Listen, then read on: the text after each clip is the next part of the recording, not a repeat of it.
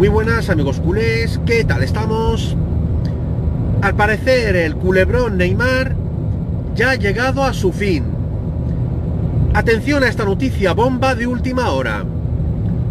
Una fuente de la capital francesa acaba de asegurar que Bartomeu ya ha confesado a Messi que el fichaje de Neymar está prácticamente cerrado, pero en secreto que el Barça todavía no lo puede hacer oficial hasta el mes de agosto.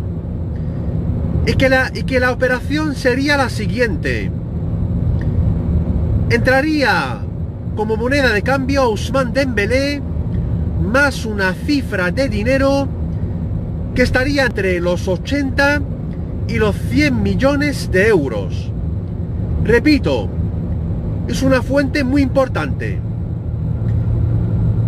y esta noticia no tardará en hacerse oficial.